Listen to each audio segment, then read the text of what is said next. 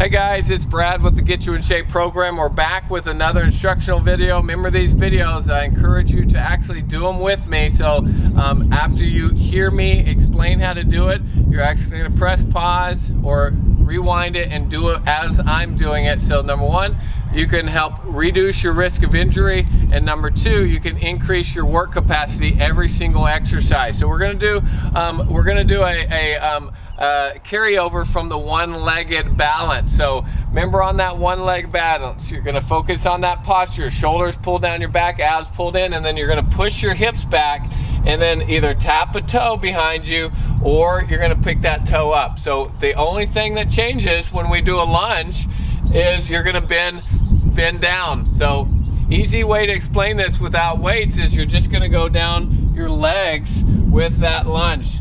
One thing to focus on is that back toe. Remember that back toe is just there to help you balance. So you're leaning forward, pushing this hip back, so I'm feeling all my weight right here.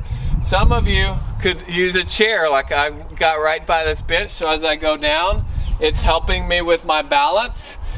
Okay, okay. I'll walk you through that again. You're gonna push your hips back, tap that back toe in, and then with your arms, some of you may only go an inch down and up. Some of you can go all the way to the ground and then press through up through to stand up. All the way to the ground with that back knee, press through to stand up. Okay, so with your weights, you can do have weights with this too as you progress, but the form is the same.